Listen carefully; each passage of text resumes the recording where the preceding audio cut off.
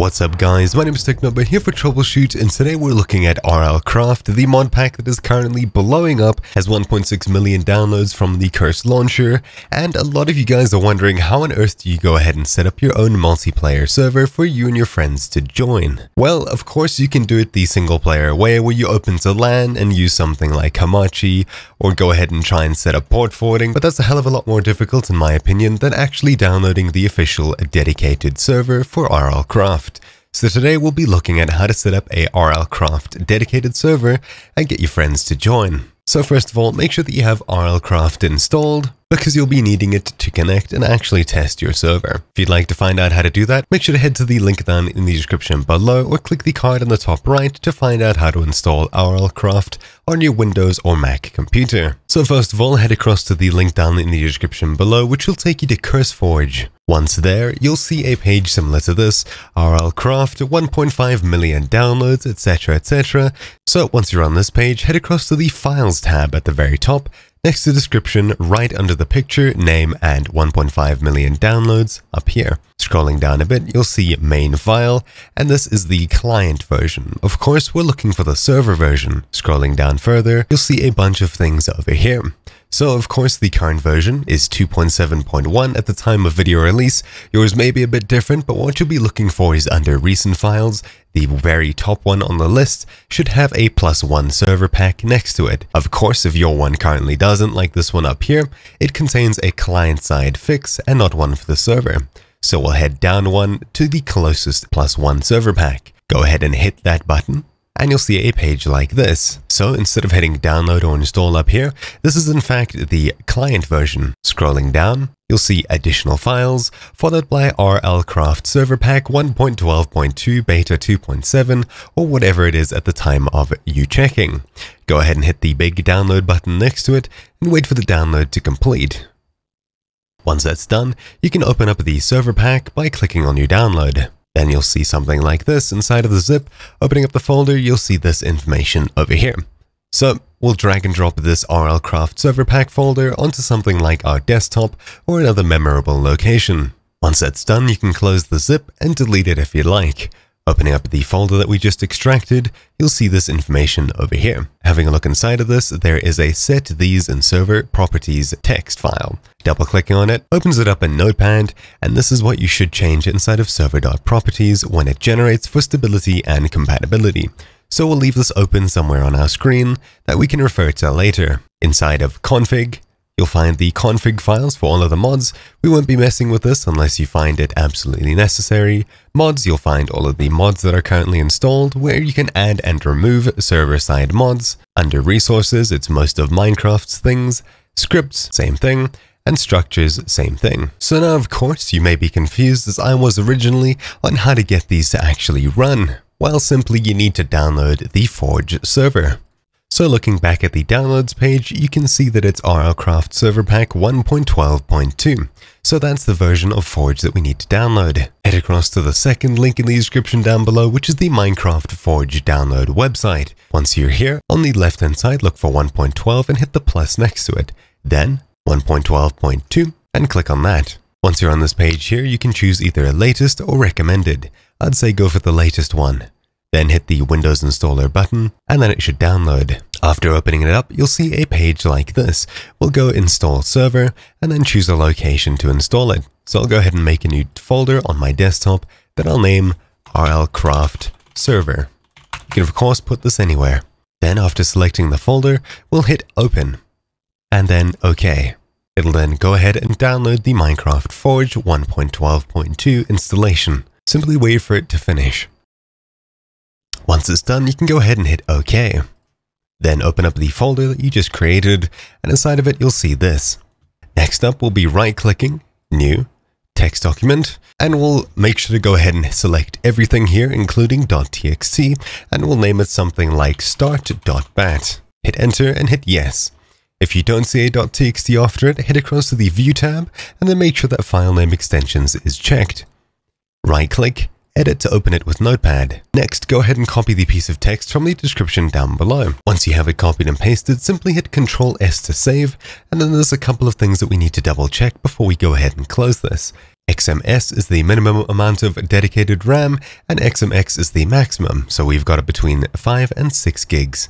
Of course, you can adjust this to be the correct values for your PC, but I'd say somewhere around here is probably more than fine.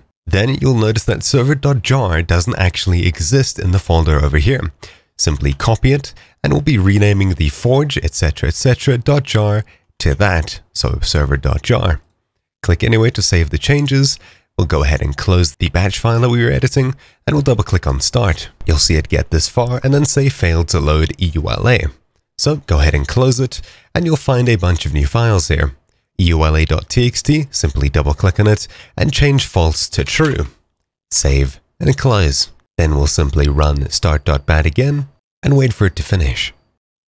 And then once it finishes generating like this, we can go ahead and close it. Then we'll go ahead and go back to the rlcraft server.zip that we downloaded and extracted earlier, and we'll simply cut by hitting Ctrl X and pasting Ctrl V into this folder over here. And then we'll wait for the move to complete. Hit replace, and that's that. Close out of the zip that we extracted, then your rlcraft server pack should be looking like this. Looking at the text file we referred to earlier, we can go ahead and change these. So server.properties, we'll right click open with, more apps, and then notepad. Always open and OK. So let's go ahead and change these. So allow flight, we can simply copy, click to the end, Control F, Control V, and hit find next. Then we'll change it to true. We'll look for the next thing we need to change, difficulty. Again, clicking at the bottom, find window, paste, find next, and we need to change it to 3. Then max tick time, we'll click at the bottom, paste, find, we change this to negative 1. Then view distance, we'll click to the very bottom, paste, find next, and we'll change it to what it says, which is 6. You can then go ahead and set an MOTD if you'd like, and hit Ctrl S to save. Make a note of the server port that is mentioned up here. So I'm going to copy this and paste it into the server properties file just so we remember it for later close that file, and then you have your server basically created and almost completely set up. Of course, because we generated the world file before we installed any mods, I'd recommend just deleting the world folder entirely so that we can get a completely fresh world gen when we run the server. So of course, this will work if we go ahead and run our start.bat that we created, and after a bit of loading, once we get to the screen over here, you can see that it says done, and we're completely loaded into RLCraft with all the mods up here. So we can simply type in stop and hit enter. We'll go ahead and save it. And we can hit enter to close that window. Now that we've done that, in order for your friends to connect to the server, you'll need to go ahead and port forward this port that we copied earlier to your PC. So if you'd like more information on how to do that, there's a video down in the description below that takes you to a super in-depth port forwarding video. However, I'll run through it very quickly here anyways. So looking inside of my sample router over here, all you need to do is simply under external port, enter the number that we copied earlier, which should be 25565. If you're running more than one server, I'd recommend changing that inside of the server.properties file and then port forward like so. External port, internal port, and under protocol, we'll select TCP slash UDP, and under local IP, you'll need to find your local computer's IP address. To do that, simply hold start and press R, then type in CMD and hit enter. Then we'll go ahead and enter ipconfig one word and hit enter again.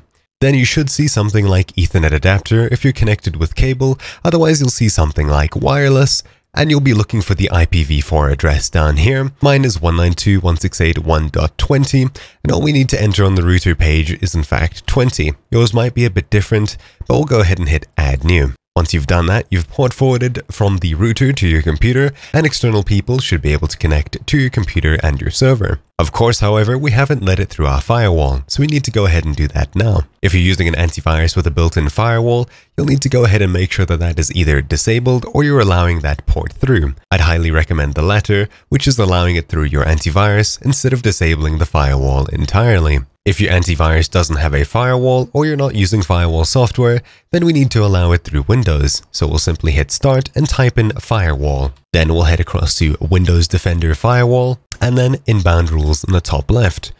In the top right, we'll be heading to new rule, port, next, 25565, TCP, next, allow, next, next, and we'll name it Minecraft. Hit finish or press enter, new rule, port, next, paste in 25565 again, UDP this time, next, allow, next, next, and we'll name it Minecraft yet again. Hit enter, and in the top left we'll be heading to outbound rules. New rule, port, next, paste, TCP, next, allow, next, next, Minecraft, and hit enter. New rule, port, next, paste, UDP, next, allow, next, next, Minecraft, and enter. Now we have successfully both port forwarded and allowed it through our router, and you should be able to collect your IP address that other people can connect to by going to Google and typing in what is my IP. It's super simple, but I won't be demonstrating that here. Once you've done that, you can close out of all of the windows, we won't save that, and we'll run start.bat. Then your server should start up, and you can go ahead and start RLCraft.